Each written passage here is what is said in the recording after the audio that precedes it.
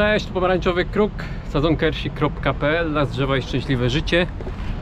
Chciałoby się powiedzieć no i Indie, ale nie. Tym razem Porto, Portugalia. Jestem na małych wakacjach. Dwa tygodnie spędziłem w Hiszpanii. Tak, dwa tygodnie w Hiszpanii, teraz od tygodnia w Portugalii. Porto, bardzo prze, przepiękne miejsce.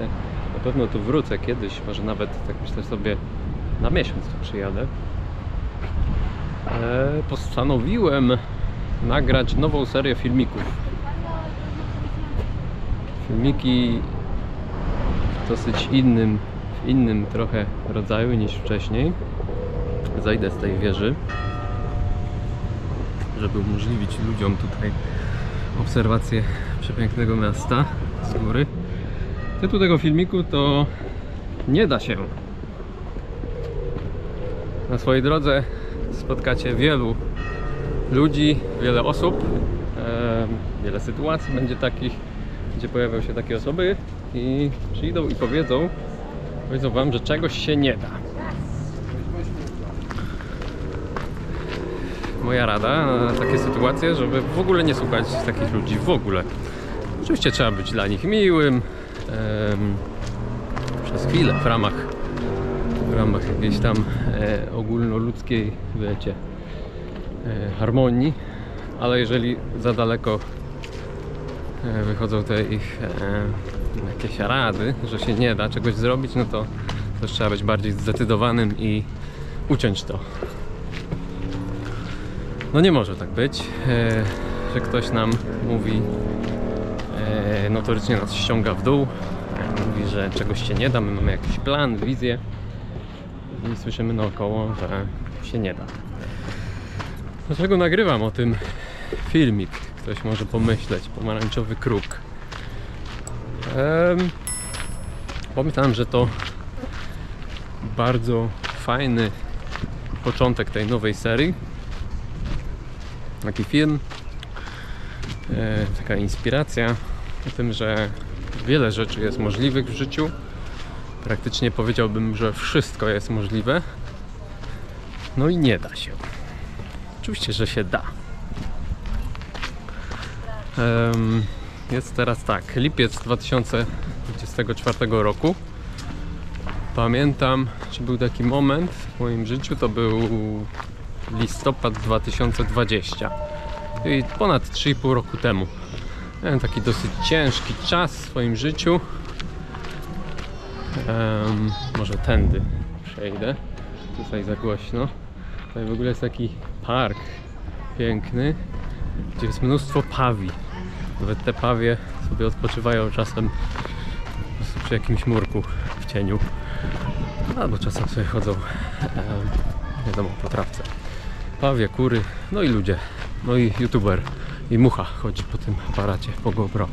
Dobra. em, Także listopad 2020. Sobie zrobiłem taki miesiąc, powiedziałbym, ratunkowy. Bardzo fajny miesiąc w życiu. Nie wiem, czy dałbym radę to powtórzyć, bo robiłem później, e, nawet powiedziałbym, takie cięższe wyzwania, że tak powiem, ale to, co zrobiłem wtedy, dało mi taką klarowność umysłu. Yy, I pomogło. Znowu ten mikrofon, kurczę. Yy, Więc tak, pracowałem wtedy w markecie, to był Carrefour, eee, więc 160 godzin w miesiącu, nawet chyba więcej troszkę, bo poszedłem, pamiętam, raz w sobotę do pracy i cały miesiąc praca, wykładanie towaru i standardowo jak robię dwie godziny dziennie medytacji, rano godzinę, wieczorem godzinę, to, to był taki miesiąc, gdzie zrobiłem sobie inne założenia, że potrzebowałem takiego no, życia totalnie jak mnich przez e, miesiąc. Znaczy mnich pracujący jeszcze, tak? I piszący książkę, bo to też ciekawa sprawa, tam sobie wplotłem jeszcze dodatkową aktywność. I mój dzień wyglądał tak. Rano wstawałem, robiłem dwie godziny medytacji. Nie pamiętam jak to dokładnie robiłem, czy później brałem prysznic i jadłem, chyba tak. E, I później godzinę e, pisałem książkę. Czyli codziennie przez cały miesiąc. Były dwie godziny medytacji, było godzina pisania książki, było od poniedziałku do piątku chodzenie do pracy, 8 godzin dziennie i wieczorem dwie godziny dziennie medytacji. No, ktoś by powiedział, kurczę, po co, po co? No, to jest temat w ogóle też na osobny, osobny materiał, co się wtedy wydarzyło, jak ja funkcjonowałem. Natomiast tutaj w skrócie e, opowiem o tym, że wtedy to, to mi dało taką e, klarowność umysłu. E, Wyświetliła mi się wizja, co ja tak naprawdę chcę e, zrobić ze swoim życiem e, w tamtej chwili.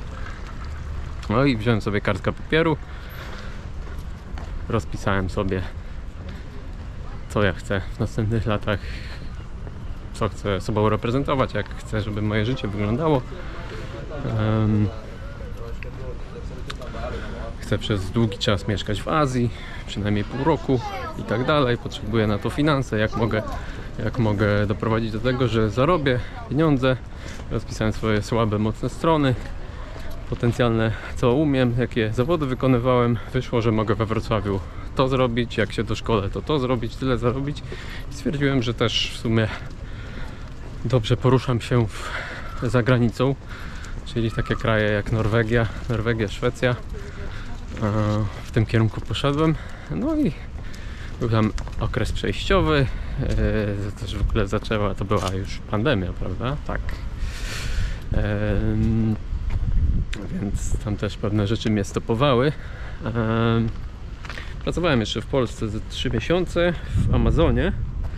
I, ale już się nastawiałem, kupiłem laptopa sobie w grudniu 2020 yy, i kupując to, to już wiedziałem, tak, to jest laptop, kupuję go po to, że żeby przeprowadzić się, żeby mieszkać za granicą, to no, nie będę miał tak dostępu do komputera stacjonarnego swojego, tak ciężko trochę przemieszczać ze stacjonarnym, a całe życie miałem stacjonarny. E, I to już była taka, no, robiłem już coraz więcej takich rzeczy, które przygotowywały mój umysł do tego i mówiłem rodzinie, znajomym, że ja, ja będę teraz żył za granicą. Niektórzy tak, okej, niektórzy okej, a niektórzy właśnie o, a, a gdzie, jak? I zaczynaj się martwić za mnie, to jest, to jest zabawne. Więc dlatego nie, nie warto w ogóle często takim randomowym ludziom mówić o swoich wizjach, jakichś planach, szczególnie jeśli one są bardzo takie rozbudowane, e, bo jest ściąganie w dół, bo jest a, a słyszy, a moi znajomy, moja znajoma pojechała za granicę i ukradli i tak dalej, uważaj, jakoś mnie nie okradli. Pracowałem za granicą w, w dwóch miejscach teraz przez ostatnie 3,5 roku. Em, I jakoś mnie nikt nie okradł. Co prawda telefon mi ukradli, ale to w Indiach. Po raz pierwszy w życiu coś mi ktoś ukradł, ale to był wyjazd e, turystyczny. E, dobrze. Mm, więc wracając do mojej opowieści. Tak. E, 29 maja 2021 ogłosiłem wszem i wobec, że przeprowadzam się do Szwecji. No, z czasem to troszeczkę inaczej się potoczyło, bo tam w jednej pracy byłem, w leśnictwie, zdobyłem już jakieś tam doświadczenie, trochę zarobiłem, łączyłem to też z podróżami. Mm, ale to była Szwecja, też e, później jak się Norwegia otworzyła, to stwierdziłem, że ja chciałbym jednak w Norwegii pracować, bo bardziej pokocham ten kraj, a, a poza tym e, tam są wyższe zarobki. Mm, także w pewnym momencie tam próbowałem pojechać do Norwegii, tam mnie nie wpuścili na granicy, bo się tam region zmienił z zielonego na czerwony w pewnym momencie Göteborg tydzień wcześniej by mnie wpuścili, tak musiałem wziąć polecieć samolotem do Polski, poczekać 10 dni i polecieć do Norwegii. To parodia, ale takie, tak, tak, takie rzeczy śmieszne się też zdarzały. Dużo, dużo jakichś póki się nie zrobi tego pierwszego kroku, to, to człowiek nie wyobraża sobie ile na, na drodze do jakiegoś tam rozwoju, do, do realizacji jakiegoś planu, ile przeszkód e, trzeba przejść. No, ale e, jak się to rozłoży na czynniki pierwsze, to jest jeden dzień, to jest jedna przeszkoda, to em, jeżeli chcemy, jeżeli ktoś jest bardzo zdeterminowany, żeby coś zrobić, no to rozpatrując to w kategoriach danego dnia, danej czynności, to naprawdę, no nie wiem czy każdy, ale no większość z ludzi jest w stanie zrobić to, jeżeli wzbudzą w sobie tą chęć, tą determinację, jeżeli mają wizję, mają zapał do tego, żeby coś zrobić. Em, I tak, wyobraźcie sobie teraz taką sytuację, że e, jest październik 2021 roku i e, jest, żyję pod namiotem w Norwegii przez cały miesiąc, czekając na to, żeby zacząć pracę w drugiej, w drugiej firmie. Pierwsza to była ta w Szwecji, a druga to jest ta firma, z którą nadal współpracuję. Litewska firma, e, międzynarodowa, bardzo duża. No i tam tworzę polską społeczność. Jest, byłem, byłem, jestem pierwszym Polakiem w tej firmie. E, Także wyobraźcie sobie sytuację. Teraz mamy lipiec 2024. Po bardzo udanym wyjeździe dele, delegacyjnym, gdzie stworzyłem e, siedmioosobowy zespół, który świetnie, świetnie pracował i posadziliśmy w 7 osób w 9 tygodni prawie 600 tysięcy drzewek w Finlandii. A mniej niż 3 lata wcześniej ja nie mam prawa jazdy i siedzę pod namiotem przez miesiąc w Lillehammer i czekam aż po prostu zacznę pracę, bo były tam takie procedury biurokratyczne, z którymi no, no nie wiem, żeby pracować na litewskim kontrakcie i żeby załatwiać to przez Norwegię, kiedy jest się Polakiem, no, troszeczkę, troszeczkę było z tym problemów, a, inna, każdy kraj ma inne, inne procedury i to tam, tam zgrzytało trochę, ale w końcu się udało. E, także 3 lata, niecałe. 3 lata to jest 365 razy 3, czyli 1000, 1050 dni około. No to liczmy, że 1000 dni. 1000 dni minęło, a ja w pewnym momencie tak, wyrobiłem prawo jazdy. E, bardzo dużo też doświadczenia nabywałem po tym, jak, jak, e, jak zdałem za pierwszym razem teorię i praktykę, to potem się uczyłem jeździć. tak to się mówi, że najpierw się zdaje prawo jazdy, a później człowiek się uczy jeździć. Coś z tym jest. Także e, bardzo dużo już przejechanych kilometrów i osobówką, ale w zasadzie też y, y, tym busem pracowniczym w Niemczech, w Norwegii, w Finlandii, w Szwecji, albo jeszcze w jednej firmie przez jakiś czas pracowałem, to mi się teraz przypomniało. Ale dobra, to off topic. Tu dużo ludzi. Nie, nie idę tam. idę tu. Em, no i tak tak historia się potoczyła.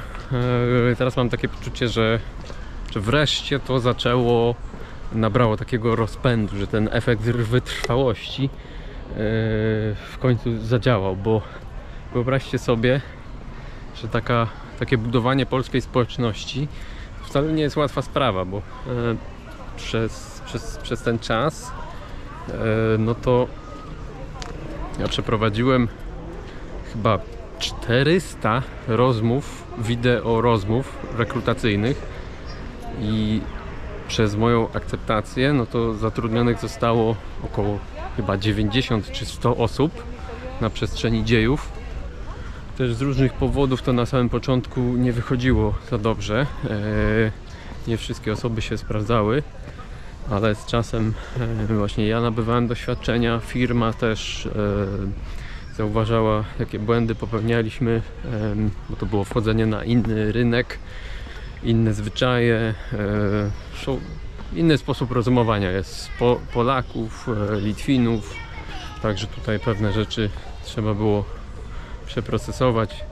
Dużo spotkań takich na linii. E, e, ja, szefowa HR-u tej firmy, jakieś właśnie, ja już nie będę wymieniał, osoby decyzyjne właśnie odnośnie tego rodzaju rzeczy. No też nie jest tak, że właśnie my wspólnie budowaliśmy. Ja, ja byłem jakby mm, tą pierwszą, pierwszą polską osobą, ale też, też, też właśnie bardzo dużo ludzi miało e, wkład w to, że w końcu to zaczęło na pewnym etapie funkcjonować bardzo fajnie.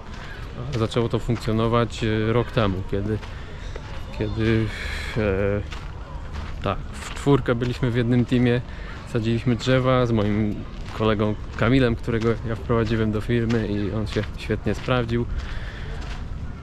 Kolega z Vipassany e, i też dwie osoby. Jak to było? Byliśmy w czwórkę, jedna osoba pojechała, byliśmy w trójkę i ta trójka już była mocna.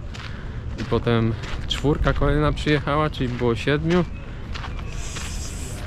Z tej, z tej siódemki czwórka była mocna. I jakoś później jeszcze kolejne osoby przyjechały, w końcu było sześć. A mniej więcej tak, może troszeczkę tam inaczej, może mi się już pomyliły sezony, ale tak to budowanie tych teamów to no ktoś może z boku popatrzeć. Teraz właśnie niektóre te nowe osoby, które, które były em, właśnie są w moim teamie. E, no tak nie, nie, nie widziały całego tego, tego procesu i e,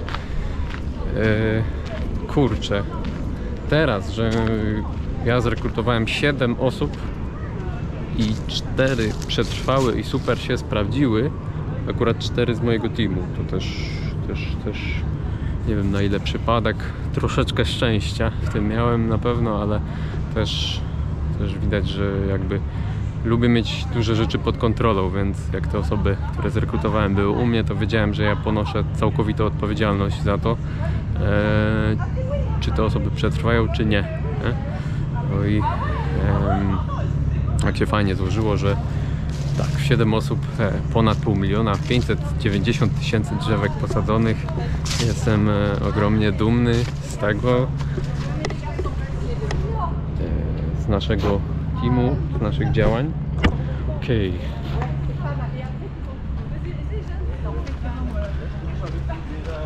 Także co, efekt wytrwałości, wszystko się da.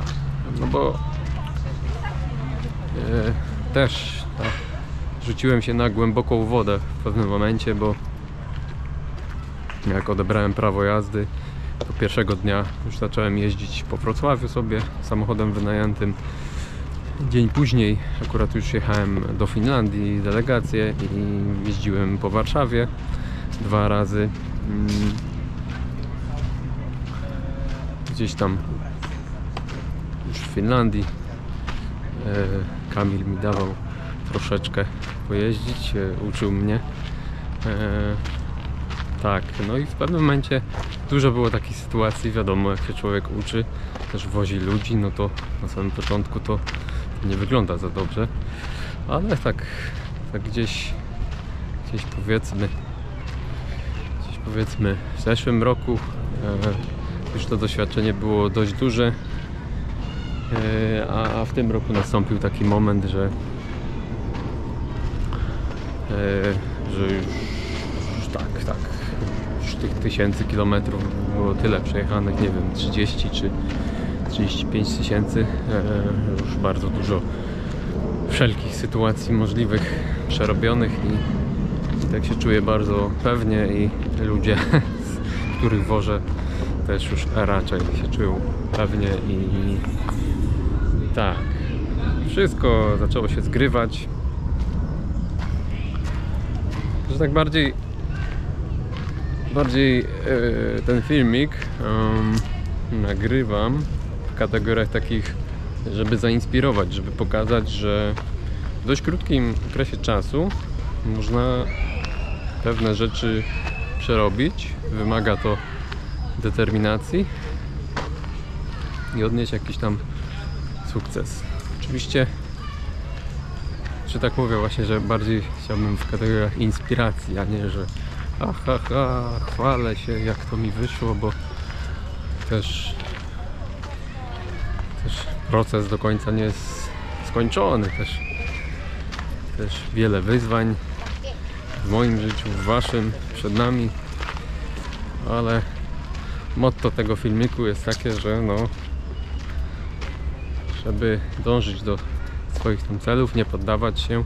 No i zobaczcie 3 lata temu sobie pod namiotem żyję, co też jest fajnym doświadczeniem, ale mm, lubię pod namiotem przebywać, natomiast też lubię mieć taką, taką bardziej swobodę w tym, co robię, czyli mogę sobie pod namiotem, a mogę sobie żyć na Airbnb czy na Bookingu w Hiszpanii, w Portugalii. Mogę sobie pojechać na długie odosobnienie medytacyjne. Mogę to zrobić.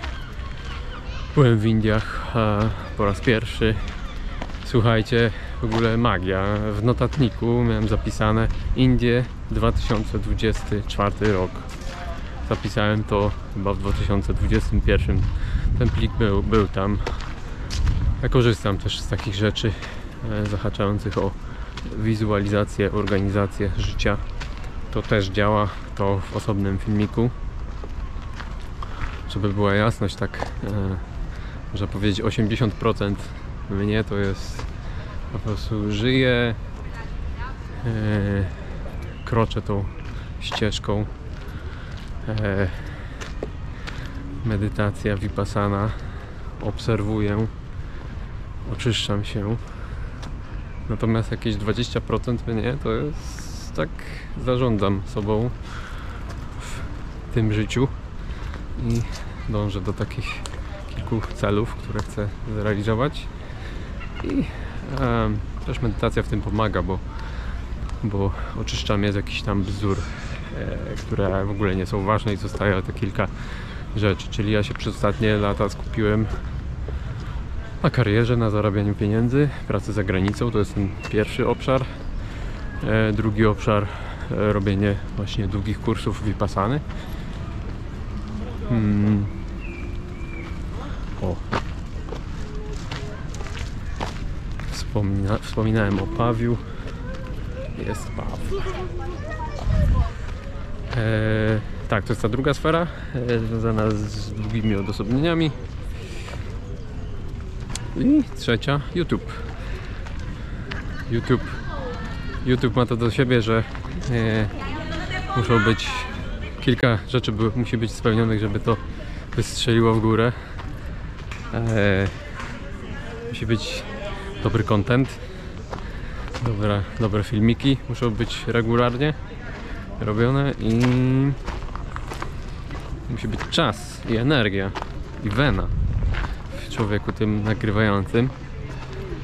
No i e, ten trzeci obszar, kiedy pracuję właśnie w tym roku i w przyszłym 8 miesięcy w roku, 7-8 miesięcy w roku, jeżdżę też na te długie odosobnienia, no to czasu na de facto na obróbkę wideo, na nagrywanie jakichś wartościowych materiałów, no mam w roku powiedziałbym no miesiąc, półtora. Ktoś może powiedzieć, no to dużo. No tak, ale też yy, właśnie yy, praca, którą wykonuję jest dosyć taka obciążająca psychicznie i fizycznie. Także po tych 9 tygodniach pojechałem prawie od razu. E, poleciałem do Alicante. E, Dwa, dwie noce spędziłem w Alicante w Hiszpanii i pojechałem na 10-dniowy kurs, znowu Vipassany. E, Także tam też, też dość, dość ostro e, em, pracowałem, medytowałem. E, No i teraz odpoczywam generalnie przez ostatnie, ostatnie 7-10 dni. E, Stwierdziłem, że nawet nie, nie zwiedzam tutaj aż tak, jak, jak, jak można sobie wyobrażać zwiedzanie e, miasta.